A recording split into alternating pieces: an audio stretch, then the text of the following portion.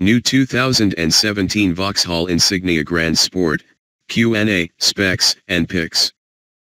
Bigger, bolder, and posher Insignia takes on Grand Sport naming ahead of 2017 release. Vauxhall is plotting a fight back against the Skoda Superb in 2017 with the launch of a new high Insignia, which will step further up market in a bid to lure Audi, Mercedes, and BMW buyers into Vauxhall showrooms this summer. The popularity of cars like the Insignia alongside its age-old rival, the Ford Mondeo has been squeezed considerably by the ever-growing popularity of SUVs and crossovers, plus aggressive finance offers on more premium saloons from upmarket German manufacturers. To this end, Vauxhall is countering with a more spacious, sophisticated, and tech-laden offering bearing a new name, Insignia Grand Sport. The overall looks of the new car take significant cues from the Monza concept that was first seen at the Frankfurt Motor Show back in 2013. The front end gets slim headlights and a more vertical grille that's mounted lower than on the outgoing model.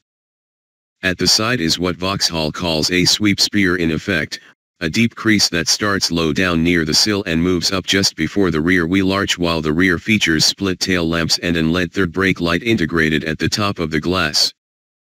The five-door version of the car, called the Insignia Grand Sport, gets a much longer wheelbase increased by 92 mm although shortened overhangs mean that the car isn't much longer overall.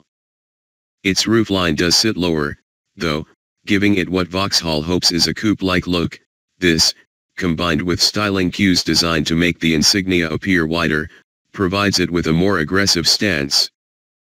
That growth in wheelbase is designed to make the Insignia's rear cabin as spacious as a Superb's, and more roomy than any of the premium executive models. And while the roofline has been lowered, so has the seating position to the point where Vauxhall claims there is actually more headroom in the rear seats than before.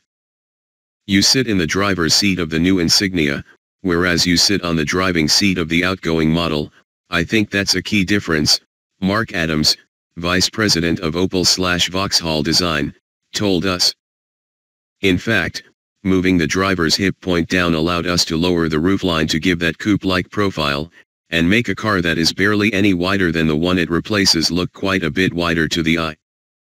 Boot capacity, meanwhile, is a decent 490 liters, rising to 1,450 liters with the split rear seats folded down.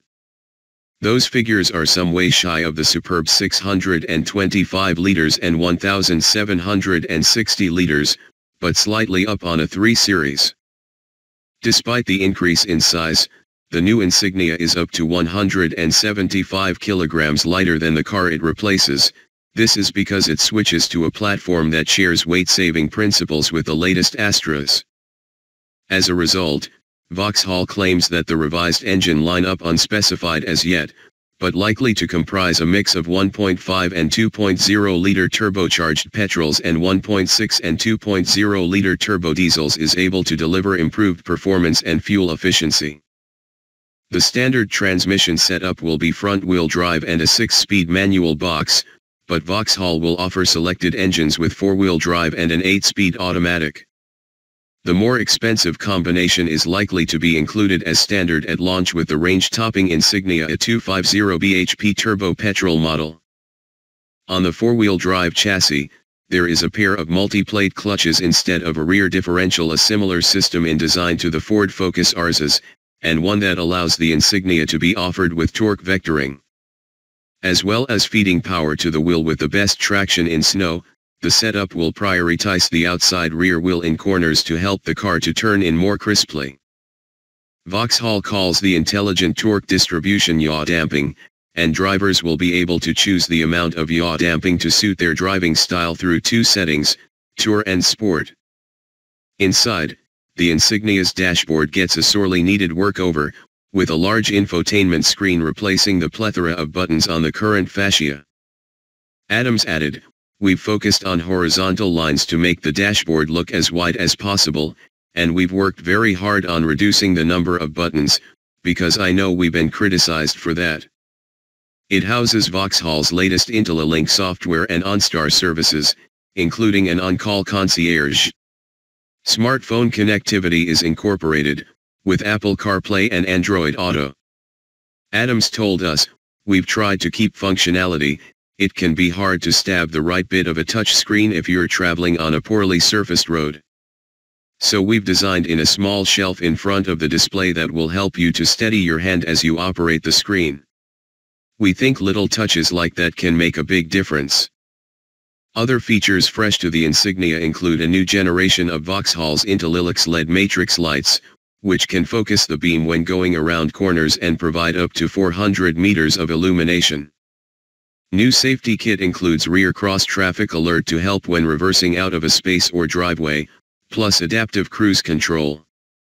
There will also be an estate version of the car, called the Insignia Grand Tourer.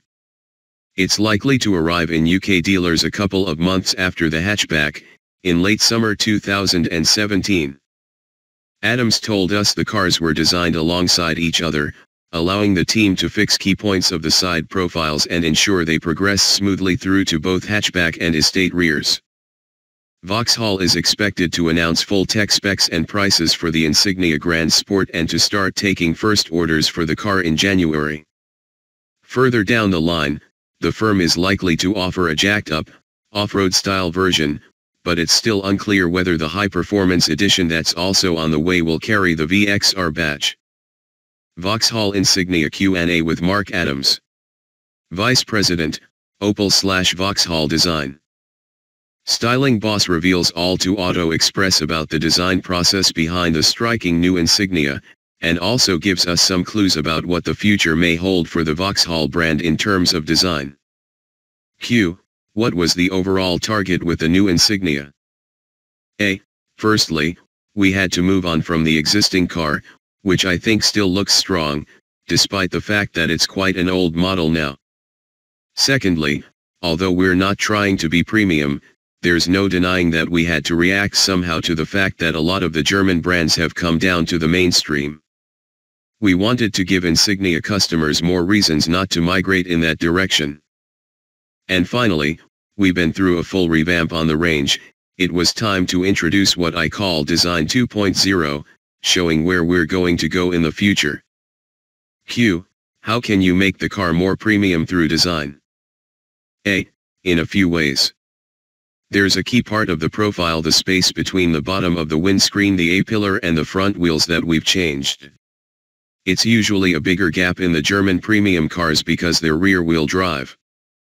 The Insignia is still very much a front-wheel drive car, but we tried to push the front wheels towards the front of the car, and the rear wheels towards the back, to change the proportions.